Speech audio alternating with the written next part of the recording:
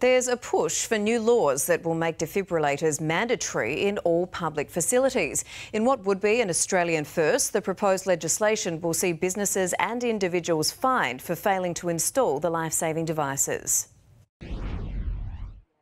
Daniel Lowe has one thing to thank for being alive today. I'm uh, living, breathing uh, um, proof that defibs work. The Onkaparinga Hills father of three exercising at a Hawthorn gym when suddenly he collapsed, suffering cardiac arrest.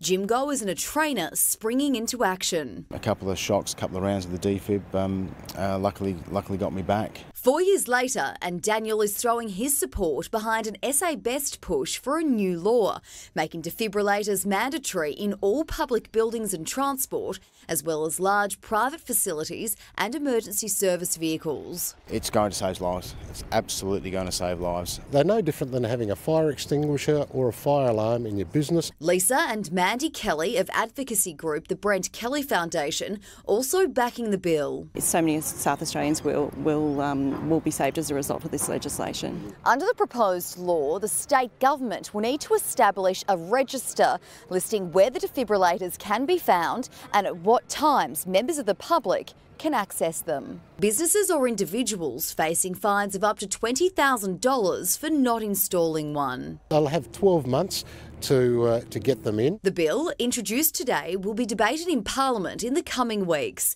If it gets enough votes, it will be the first law of its kind in Australia. We're hoping that, um, that this decision today will, will mean that other states, such as New South Wales and Victoria in particular, um, look to adopt this, this legislation as well. Lucy Hinton, 9 News.